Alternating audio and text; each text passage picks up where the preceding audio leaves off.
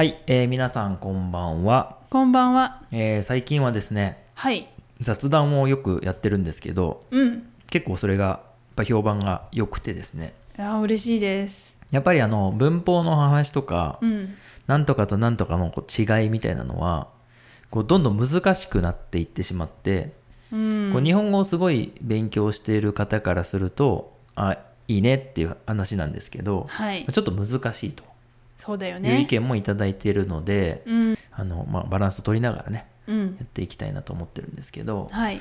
えー今日はなので雑談なんですけど、うん。あのまあ、結構リクエストがあったりしたのがはい。えっ、とね2年前ぐらいかなうん。にえっ、とまあなんとかの日っていうエピソードをよくやってたんですよやってたよ。今日はなんとかの日みたいなうん。そう日本にはこう毎日なんかなんとかの日っていうこう記念日があるんですねはい。そう有名なところだとなんだろう5月5日子供の日とかはいはいはい。あるんですけど、まあそれをまあちょっとふ復活というかねさせてほしいとおいうことがありましてでまあ僕らもまあ話すのネタがさあの あるからら楽というかあのいいしまあもしかしたら去年と同じ話をしちゃうかもしれないですけどうん。まあそれはそれで思うことがまた違ってくるからいいじゃないですか。そうだよね。っていうので、えー結構たくさんのおリクエストがあったので、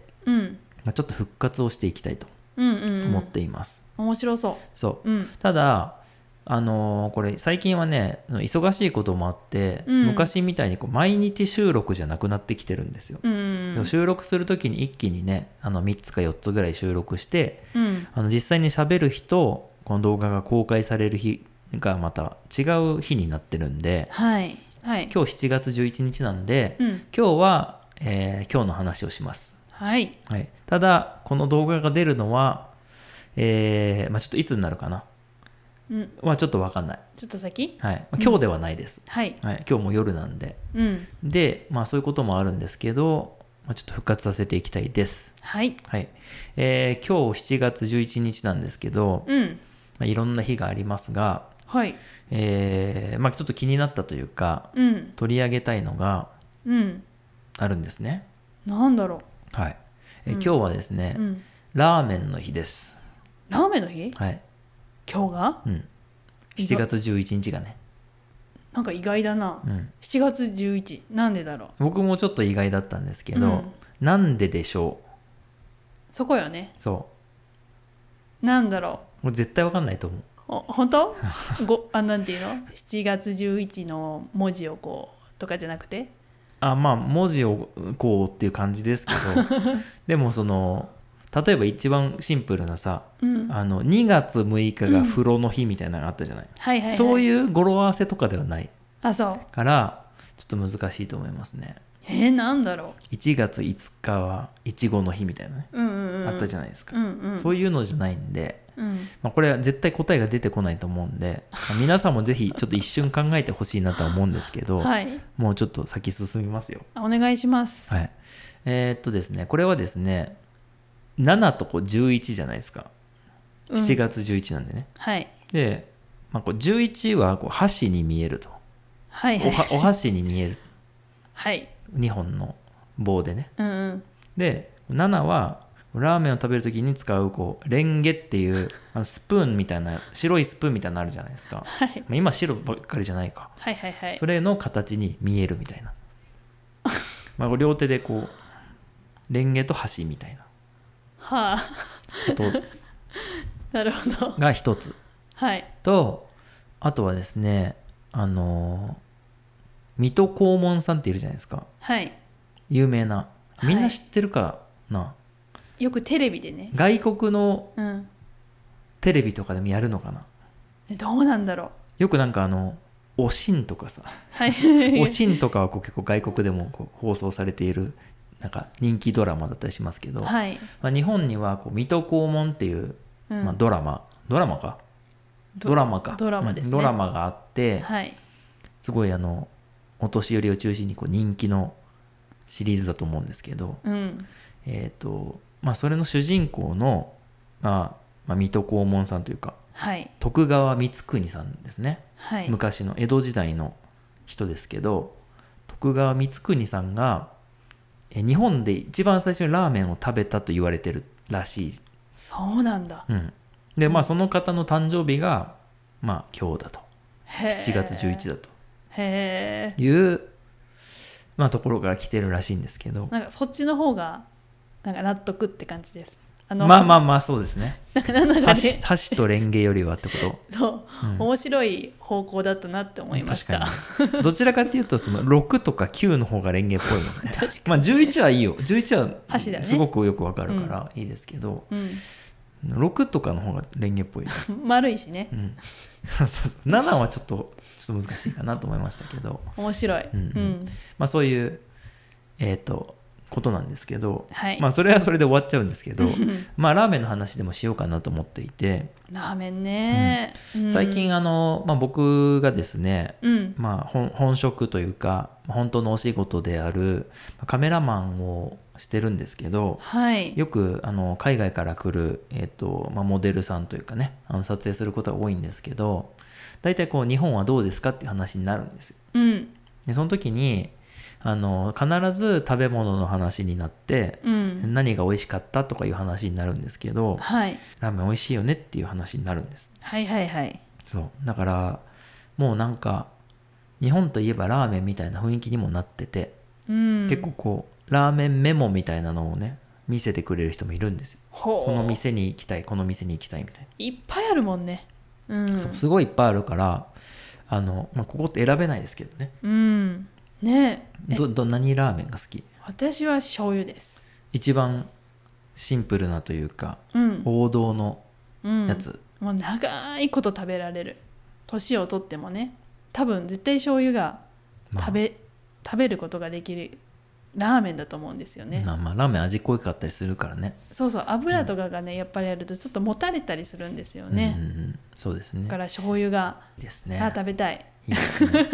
まあ確かにあの一番こうラーメンの中では優しいというかねうん。感じがして。まあ確かに僕もその年を取れば取るほどうん。そこが一番こう答えというかうん。最終的にはそうなんじゃないかなって思ってるんですけどうん。えっ、とまあ僕は大学生の時とかラーメンすごい食べてたんですけどそうね。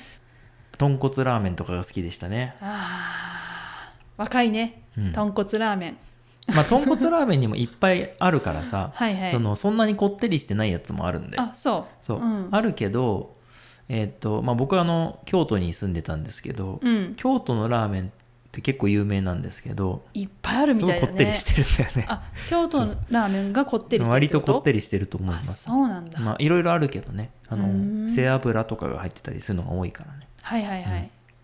でまあでも僕が今好きなラーメンは何かって言われると,、うんえーっとまあ、北海道系の味噌ラーメンが好きですね。え意外。うん、そうなんだ。うん、あのまあ味噌ラーメンってさうん。その味噌汁みたいなこと想像してる方は結構多いんですけどあ。全然違うよね。え違う違う。味で言うとね。うんうんうん。でまあ一番こう代表的なのはやっぱ麺と、まあ、味噌のスープがあるんですけど、うん。まあトウモロコシが入ってるっていうイメージがありません？あそうだね。ね。トウモロコシあるね。トウモロコシが入っててでちょっとこうバターうん。バターが入っていてはいはい。で海苔うん。みたいなイメージですね、うんうん。一番こうシンプルな。はいはい。で僕はあのさっき言ってたようにうん。年をだんだん重ねてきて、うん。あの食べたいのは味噌ラーメンかなと思っています。へえいや全然最近食べてないからちょっとちゃんと食べたいね。美味しい味噌ラーメン。うん。そうだね。北海道に行ってうん。ラーメンを食べたのはもういつですか、いつだろう？忘れちゃった。だいぶ前だよね、うん。最後に北海道行ったのいつかなって思うぐらい、ううん。ん、まあ5年以上は経ってますね、味噌ラーメンか。ちょっと食べてみたくなったな。ね。うん。ちなみにラーメンを一番最初に食べたのはいつですか？こう思い出せる限りでどんなラーメンでもいいの？どういうこと？そんな変なやつある？お家で作るものあまあもちろんもちろん。はいもちろん。お家で作るラーメンが一番最初に食べた。そういう記憶の一番最後。最後というかさ最初？最初、うん。うん。おお父さんが作ってくれたなんかあのなんていうんですか？袋の。ああインスタントみたいなね。そう袋麺ってやつね。そう袋のラーメンをい茹でて作ってくれるものそのを何何の何何のブランド？何だったかな。いろいろあるよね。一番有名なのは札幌一番とか。あそうそうそうそう。うまいっしょとかね。うまいっしょって懐かしくない。びっくりした今。よく出たねそれね。辛ラーメンとかが有名なのかああまあ辛ラーメンはでもカップラーメンのもありますからね。ああそうだね。そう。うん。辛ラーメンはあの辛いやつね。辛いやつ。僕はあの海外留学してる時辛ラーメン毎日食べてました。売ってるからね。売ってるから。うん、結構売ってるよね。世界中売ってるイメージあるけど。ね、うん。うんそう。それをまあお父さんが作ってくれたラーメンが初めてのラーメンで確か小学生だったんじゃないかなそれ覚えてるの結構すごいね。うんよよく作ってくれたんですよ。ああなるほど、うん。なんか思い出の味でもあります。なるほどね、いいねそういうのね、そうそうそう。ん、ううん。で僕の、えっと、ラーメンの記憶はうん。あのー同じく、まあ、小学校の12年生ぐらいのうん。記憶だと思うんですけど、うん。僕あのーラーメン屋さんってあんまり行ったことがなかったんですけどはい。あの中華料理屋さんにはよく連れてってもらってておあのほ本当の本当のっていうのはあれですけどううん。本当に中華料理屋さん。うんうんうんうん。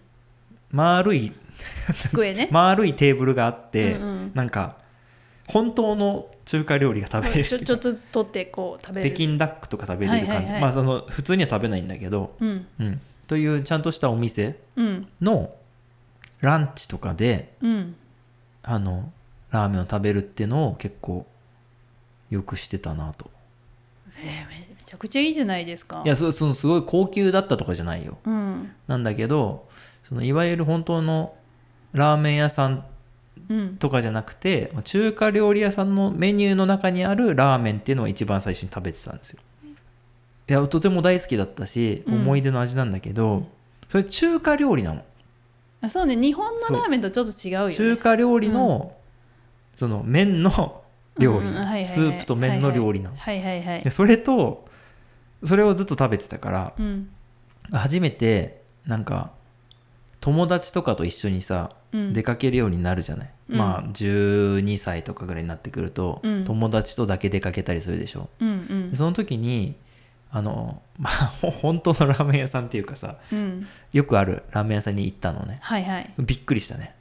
えこれラーメンみたいな？器の形がまず違うし。なんていうんだろう。そうそうそう。あのなんか丼みたいなね。